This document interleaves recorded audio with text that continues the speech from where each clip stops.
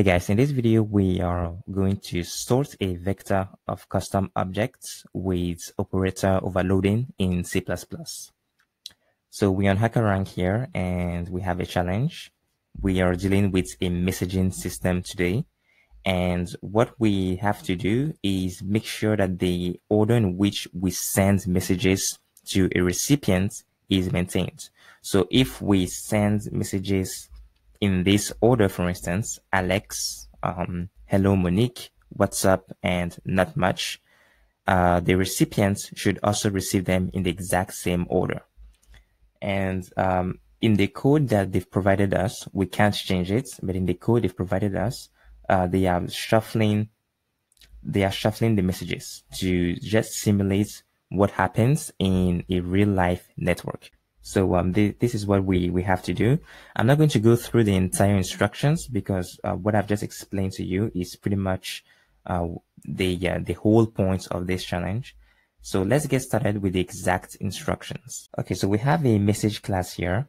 And what do they want us to do? The first thing is um, we need to to do to solve this part here class message requires a um, text value. It has to be a string and we need to return that string via this getter here.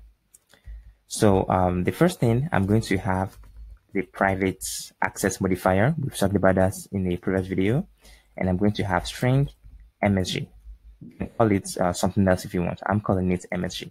And then here, I'm going to return MSG. So uh, this is how our message class looks so far.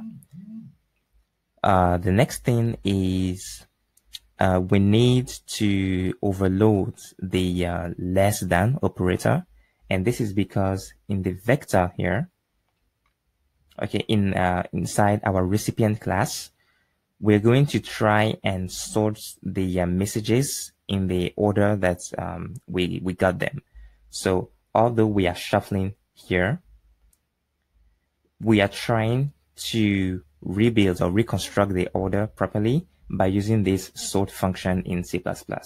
But under the hood, we can actually control uh, how the sorting is handled, right? So this is why we need to use the um, overloading method to overload the less than operator. I'm actually thinking that I can do this part last because uh, it's going to be more interesting if I um, if I target the, the other areas first and then I come back to this specific instruction and you will see why in a moment. But let's deal first with the um, uh, constructor. Okay, we can add methods and everything to it, but we need to leave that constructor intact. So because we have this uh, private member variable now, we need another constructor where we can pass we can pass it a string right? A piece of text as a string and then assign that string to our MSG member variable. So again, if you watched my previous video, I like to do it that style, MSG txt. So now we are assigning the value of txt to MSG so that whenever we call the uh, get text methods and we return MSG, what we will get is whatever we um, uh, we pass our constructor, all right, the message constructor. So now let's move to the uh, class uh, message factory, which is required to have an empty constructor. So we scroll down here, we have this empty constructor here, which is fine. Uh, but then we need to work on the create message methods. So create message, uh, we are passing the piece of text. What we need to do here is create a message object that is uh, going to receive that piece of text in its constructor, and then we need to return that message. So I'm going to create that message on the stack. In previous video, I think you might have seen me um, do something like this, msg equals new, right? And this is creating a um, message object but this, when we use a pointer, it means we actually creating the objects on the heap. And when you create something on the heap, then you need to be responsible enough to um, uh, delete it when you are done to avoid memory leaks. This is something that has to do with optimization. I'm not going to enter that now. So what I'm going to do actually is simply say message MSG and TXT like that. So now we have a message object that we can return. this is valid because the um, return type of that method here is message. Um, now let's scroll down. It says uh, the network will shuffle, sorting. So okay, let's try and run this first. Okay, let's try and run this first. I think it's it's going to compile properly, but it's going to be wrong. Actually, we have an error. And in this case, the error comes from the fact that we forgot to overload the uh, less than operator. Let me try and do that. Um, it's not going to be correct, but you will see why. Okay. So when you want to overload uh, an operator in C++, this is how we do it. Use the operator keyword, right? The operator that we want to um, overload is this one. We want to overload the less than operator.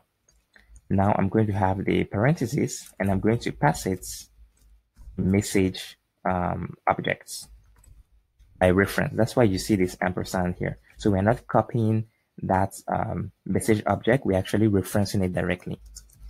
And now I'm going to say, um, actually this has to be a boolean, okay? I'm going to have um, bool answer, okay? And I want to compare if um, our text, our message text, so I can say MSG is less than other dots. We are comparing uh, the two strings. Is our um, piece of string here, our piece of text, the string, is it less than the other messages uh, string? So if you are following along, you can see that what we're doing here is not comparing the time at which they came or uh, the order in which they were sent. Here we are rather comparing them alphabetically. So if I run this piece of code now, it compiles fine. There were no errors, but the output is wrong because now uh, the messages, this is our output here, what you can see here.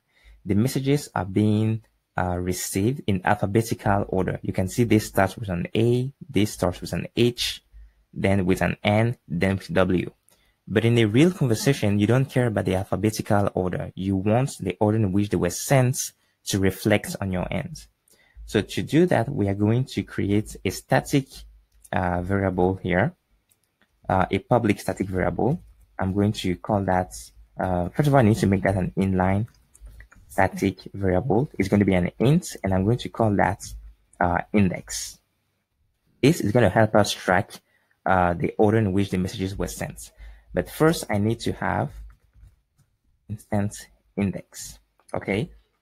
The instance index is going to be used as a member variable to track um, where each message lies uh, in the vector later on.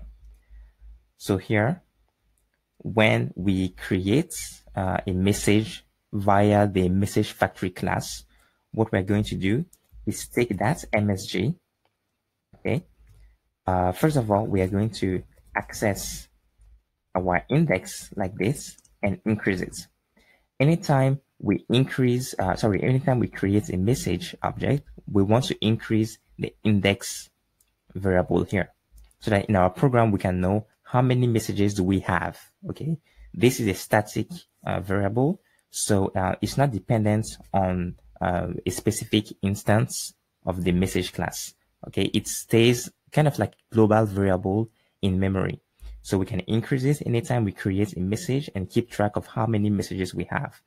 But in order to make this valid, first of all, I want to have um, a new getter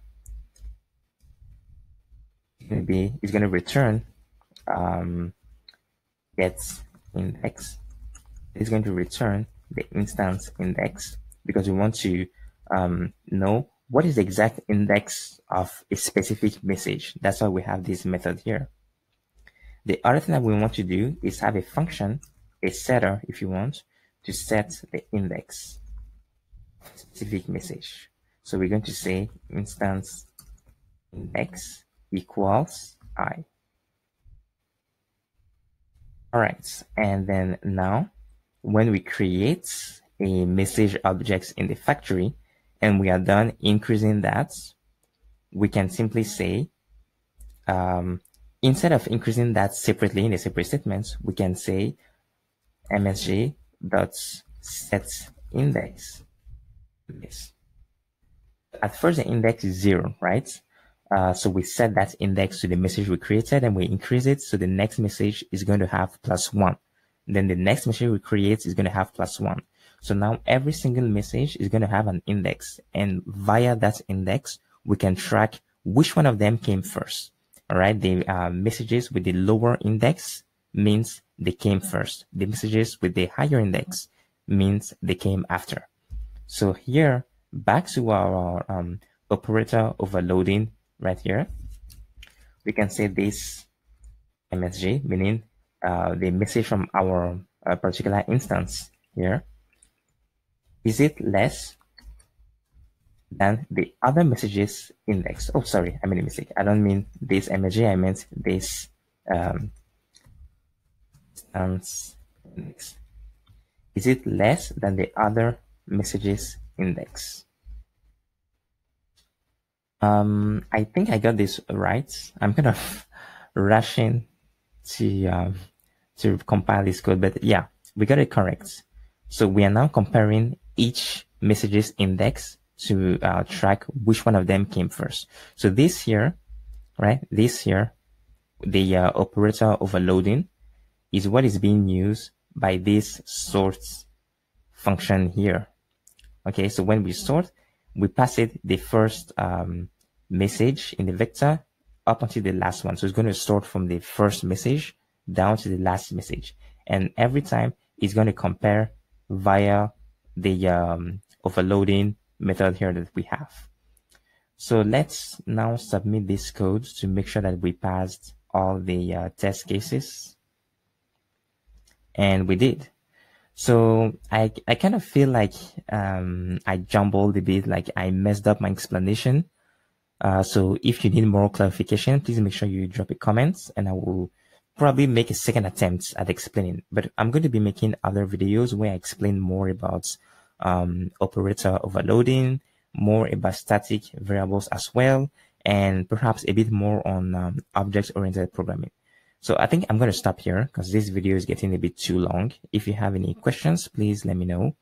Uh, drop a like on this video. Make sure you subscribe and turn on your notifications. I will catch you next time. Bye.